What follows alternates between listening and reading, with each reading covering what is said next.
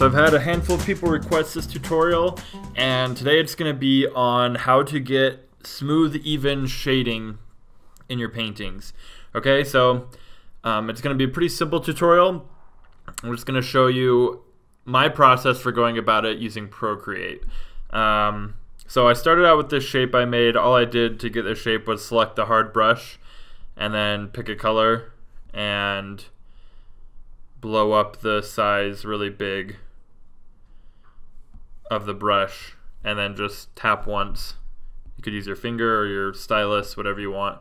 Um, but that's how I got the shape for it. So if you're wondering about that. So anyways, I have this shape here and I want to make it look three-dimensional. A lot of times when we uh, are starting out digital painting and we're trying to shade things, it comes out looking like, here I'll set a new layer to multiply say we're trying to add some shadow and we're trying to shade, it kind of comes out looking like this, right? Which isn't really the look we're going for. We want to look smooth because this doesn't look realistic or polished at all, right? And then sometimes we'll come back and clean it up with the eraser to try and make it look better and it just doesn't end up working out how we want, right?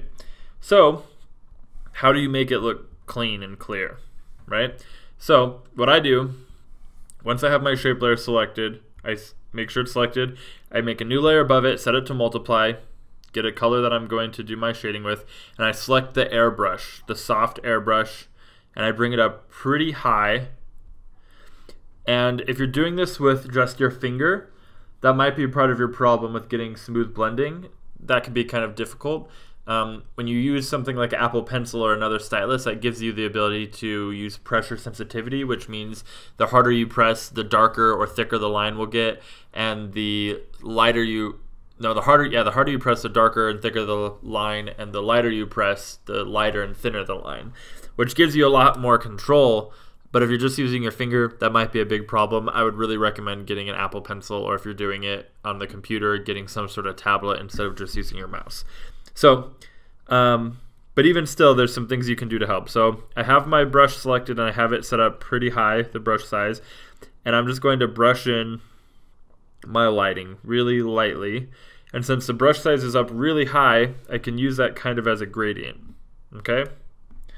So you can see there, I brushed in that shadow. I'm gonna make another layer, also set that to multiply, because now, I'll show you what will happen um, if I go back down to this layer under here and I want to brush in shadows on the smaller ball that's attached to it and I'm trying to brush it in, it's going to create shadows down here.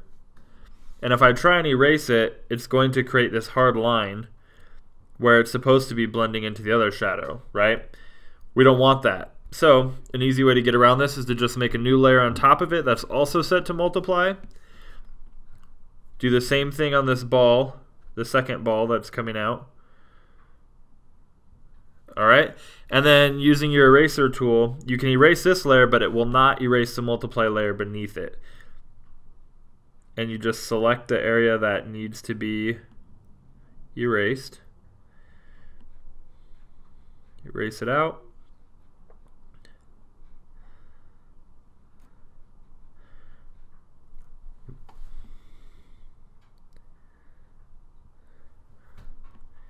Okay.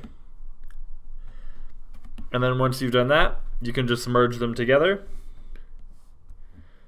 And so there'll be one layer. Okay? So uh, next what we would want to do is the light. So I'm just going to color pick the ball here, move the light. I'm going to have it be a warm light source. So I'm going to move the color lighter and warmer.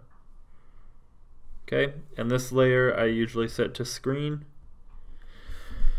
and it's the exact same thing. I have my shape layer selected, and I'm going to brush in up here from the top, and let's do down here first, actually.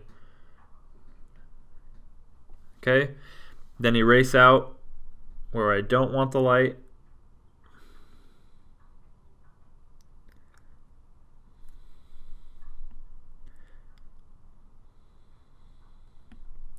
Okay, and then do the top of the ball. Perfect. So this is feeling a little bright, so I'm just going to lower the opacity. Till it's somewhere I like. That looks about good. And you can see that gives it a really nice smooth effect, right? We don't have all this blotchy sort of blending going on. Um, and then from there, I basically go over the whole image and do the entire thing, okay? I put the shadow of, I'll just show you the what I did beforehand so you can see it. So I will um, turn this off and show you. I added a background layer to kind of give it some depth. And this is all using pretty much the same technique. Okay, just brushing it in, erasing away the parts I don't want, and then merging the layers down. So I create this in using the airbrush. This is all using the airbrush tool. Airbrush in a background, add some shadows underneath, a little bit of reflected light. Um, you can see it's a little bit green there, reflecting the color of the ball. My shadows on the ball, the cast shadow from that part of the ball, which you can also see on the cast shadow, it's a little bit more saturated in green, and that's because it's reflecting the light of the ball, and so it saturates it even more. The ambient occlusion on the bottom of the ball, that just pushes it a little bit darker. Um, the highlights, the highlight on the ground, move this over you could see better.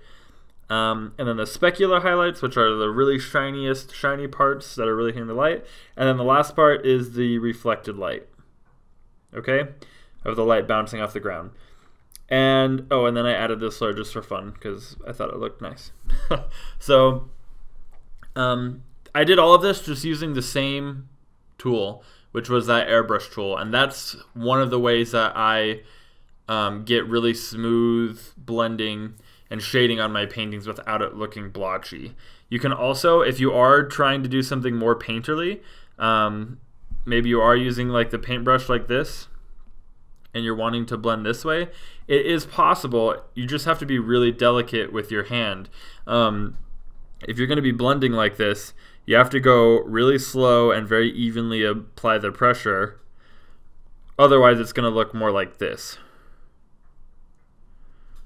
which isn't what we want, right? Another thing that might help is if you turn the opacity down to about 75%, and this will help you kind of be able to build up layers more gradually without going straight dark all the way. But overall, unless you're really going to put in the time to practice this, this is probably the hardest way to blend, um, just by using the pressure sensitivity and controlling it. It's possible, but you're going to have to work really hard at it to get it to look good. Okay, you can also use the blend tool, which is something some people do. I don't really like using the blend tool because uh, I don't know, it can make your your painting get feel muddy really quickly. Um, make your colors all kind of mud together.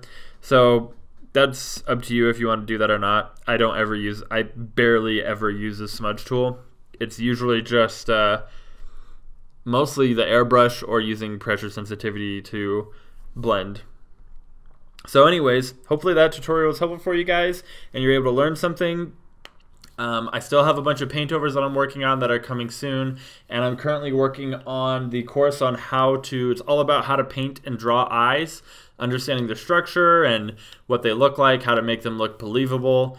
So, and that's going to be free to all my YouTube subscribers because I want to give you guys something for being such awesome supporters. So stay tuned for that. I'm working on that.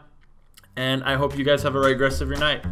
I mean, a great rest of your night. Thanks.